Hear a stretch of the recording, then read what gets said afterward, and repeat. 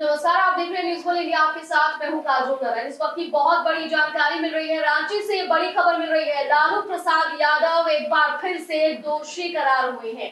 ये बड़ी जानकारी इस वक्त की रांची से मिल रही है। आपको बता दें कि चारा घोटाले के दोरोंडा केस में लालू यादव दोषी करार हुए हैं। रांची की विशेष अदालत ने ये बड़ा फैसला सुनाया है। सीबीआई स्पेशल कोर्ट ने फैसला सुनाया। चारा घोटाले के पाँचवें केस में लालू दोषी करार हुए हैं। तो राष्ट्रीय जनता दल के सुप्रीमो लालू यादव समेत निन्यानवे आरोपियों को सीबीआई की विशेष अदालत में चारा घोटाले के एक मामले में मंगलवार को उपस्थित रहना था और आखिरकार बड़ा फैसला आ गया। लंबे इंतज़ार के बाद 950 करोड़ के चारा घोटाले के सबसे बड़े डोरंडा कोषागार में एक करोड़ के गबन के मामले में फैसला सुनाया गया। इस मामले में जहाँ एक अपराधी थे तो वहीं ट्रायल के दौरान 55 आरोपियों की मौत हो चुकी है।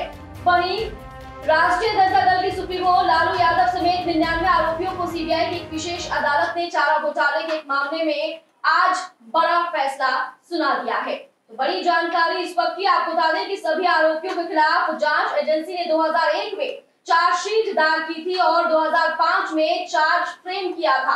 कोरोना काल के दौरान इस मामले में फैसला आने में देरी हुई। सीबीआई की विशेष अदालत में पेश होने के लिए लालू रांची पहुँचे और आज ये बड़ा फैसला, यानी कहा जा सकता है कि इन पाँच मामलों में एक बार फिर से लालू यादव दोषी करार हुए हैं। तो एक मात्र मामला ये बचा था जिसमें फैसला आना बाकी था, लेकिन आज फैसला आ चुका है, लालू यादव दोषी करार हुए